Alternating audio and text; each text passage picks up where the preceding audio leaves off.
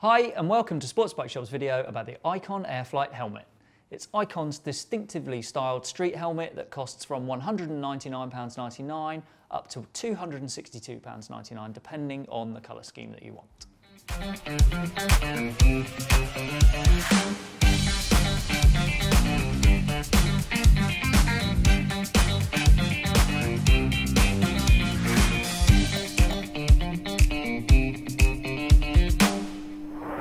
Helmet looks like nothing else on the market and some of the paint schemes that you can get for this helmet are the kind that only Icon would produce. No other helmet manufacturer would go anywhere near them. They are unique to say the least.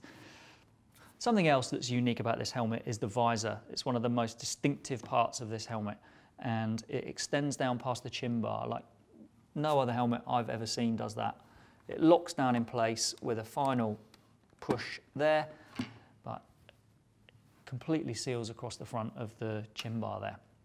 The way the visor sits across the front of the chin bar means there's no room on the outside for a switch to operate the chin vent.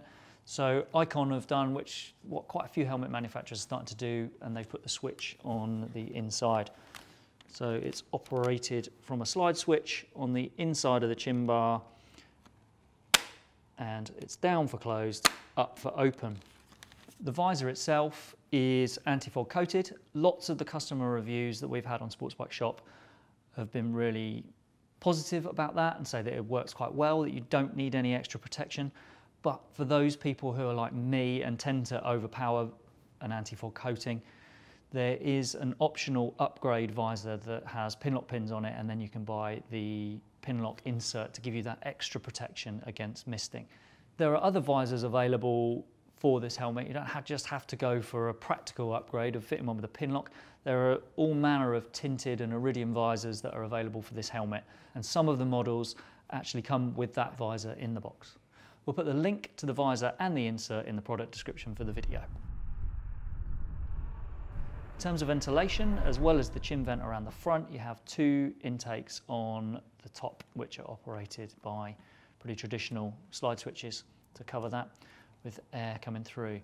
Something to bear in mind with those is that the internal sun visor, which I'll get to in a minute, when that's raised, the visor blocks the intake of air.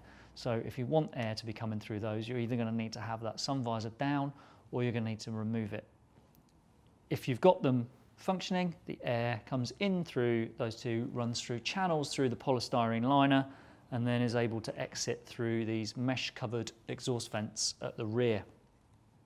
If you do get an additional visor in the box or go for one as an optional upgrade, then it's really simple to change the visor on this helmet. Might not look it at first, but it's just a case of prizing that plate away from there and it's a resistance fit. And then putting it back, these two pins just slot inside those two holes on the shell here and push it back in place, snap it through. So dead simple. So let's go back to that internal sun visor, which Icon call a drop shield, much cooler than a sun visor. Operates on this slide switch here, down for up, up for down. And it comes in a variety of colours. It depends on the paint scheme, which one you get as standard. This one comes with the red iridium. There are, again, optional drop shields. You can replace them. It's quite a simple matter of just clipping them into two mounts at the side and there's a range of colours that are available so you can choose what you prefer in there. You can have a tinted one, you can have amber or you can have iridium colours like this one here. And there are extra personalisation options with this helmet as well. The aero spoiler at the back, which again on this one is a red iridium, that's just resistance fit and you can pop that free and you can replace that with one of seven colours to suit your particular style. If you want to go down that personalisation route, both the spoilers and the optional drop shields, we've got links to those in the description for this video so you can explore the colour ranges that are available. Moving to the interior, it's easily removable liner that is moisture wicking and antibacterial. There are recesses behind the cheek pads where you can fit intercom speakers and there's even a removable chin curtain here which acts like a draft excluder to keep things a bit warmer and a bit quieter. The fastener is a D-ring which I would normally associate with a sportier helmet and that's something that comes across in some customer reviews for the helmet. that this is a bit fiddly. We've had on the Sports Bike Shop website around 60 customer reviews of this helmet so far, and pretty much everyone who's reviewed it bought this helmet for the styling. But again, almost universally, once they've bought that hel helmet, they've been really happy with the practical performance of it. Noise possibly is an issue. It's something that I found in my time with this helmet that it's not the not the quietest, and the customer reviews back that up. That is a really subjective issue. It depends greatly on your bike, how you ride, and the way the helmet fits you. But what I would say is with this helmet, if it's something you really want, it's worth making sure you have a decent pair of earplugs to um, reduce those noise levels inside the helmet. One of the other things that comes across quite frequently within that is weight.